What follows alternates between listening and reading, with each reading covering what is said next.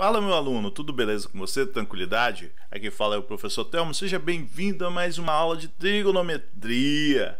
E hoje estou resolvendo problemas de tangente, que envolve a tangente. Se você for novo nesse canal, inscreva-se, inscreva-se. Se você já for inscrito, voador no like e me acompanhe.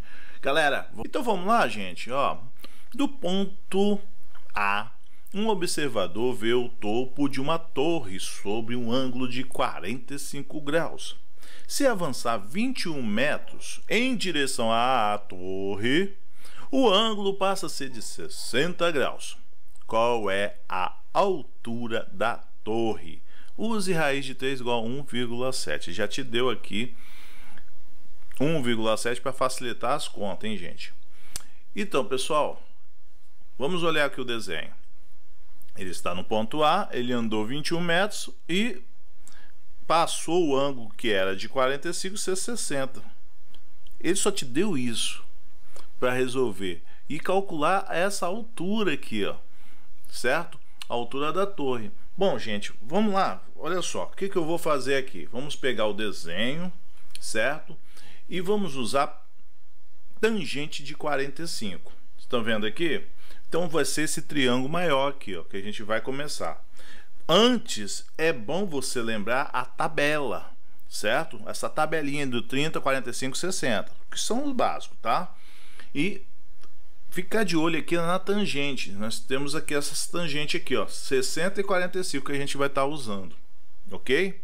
Outra coisa que é importante é lembrar quem é cateto oposto e cateto adjacente. Como falei que a gente vai usar tangente, hipotenusa não entra. Porque, até porque aqui não tem hipotenusa, né? Então a gente vai usar aqui cateto oposto e cateto adjacente.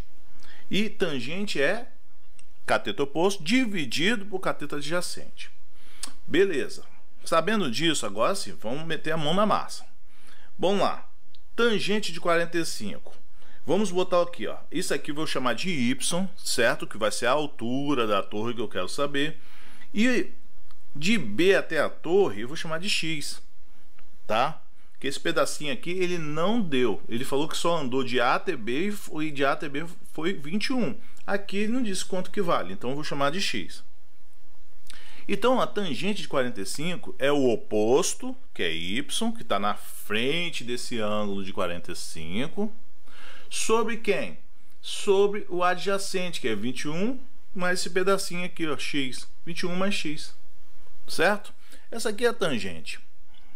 E olhando a tabela, gente, eu sei que a tangente de 45 ela vale 1. Se eu sei que a tangente vale 1 de 45 e ela também vale y sobre 21 mais x, eu posso igualar e dizer que y dividido por 21 mais x é igual a 1, certo? Olha só como é tranquilo usar tangente, né?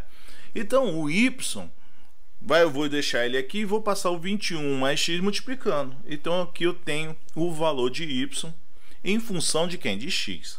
Isso aqui, gente, é para facilitar as contas. Bom, eu tenho o valor de y e tem agora, eu posso usar agora a tangente 60. Vem cá então. Vamos pegar aqui, ó. Isso aqui é x e agora o triângulo vai ser esse aqui, ó, 60. Tá? Com ângulo de 60. A tabelinha e aqui a altura eu sei que é y mais é y que é igual a 21 mais x. Então eu tenho x de um lado e eu tenho aqui 21 mais x desse outro lado. Então, pessoal, a tangente de 60 é o que? Cateto oposto sobre cateto adjacente, não é? Então ficar 21 mais x e embaixo vai ficar o que? x. 21 mais x sobre x. Essa aqui é a tangente de 60. Então, olhando a tabela, eu sei que a tangente de 60 é raiz de 3. Bom, se eu sei isso, eu posso igualar, né? Eu fazer a mesma coisa que eu fiz anteriormente. Igualando as duas, eu tenho 21 mais x sobre x é igual ao quê? 1,7. Eu já substituí a raiz de 3 aqui, ó, que ele pediu para usar. Raiz de 3 igual a 1,7. Pronto, gente. A parte trigonométrica já está feita, agora é braçal, vamos resolver conta. O x está dividindo? Passa para lá multiplicando. x está desse lado, vou passar por ele para o outro lado subtraindo. Ele é positivo, passa para o outro lado fica negativo. Então nós temos aqui 21 é igual a quem, gente? 21 é igual a 0,7. Então subtraio aqui, tenho 0,7. 0,7 está multiplicando x, passa para lá dividindo. 21 dividido por 0,7, isso vai ser igual a 30. Beleza. 30 é a resposta, gente? Não. 30 é a distância até a torre. A resposta é o tamanho da torre, que é 21 mais x. 21 mais 30, não é isso? Então 21 mais 30 dá 51. Então nossa torre aqui ela tem a medida de 51 metros. E está resolvida mais uma questãozinha aí. Então galera, se você gostou, deixa aquele comentário maroto aí. Vou ficando por aqui, aquele abraço e até a próxima. Valeu!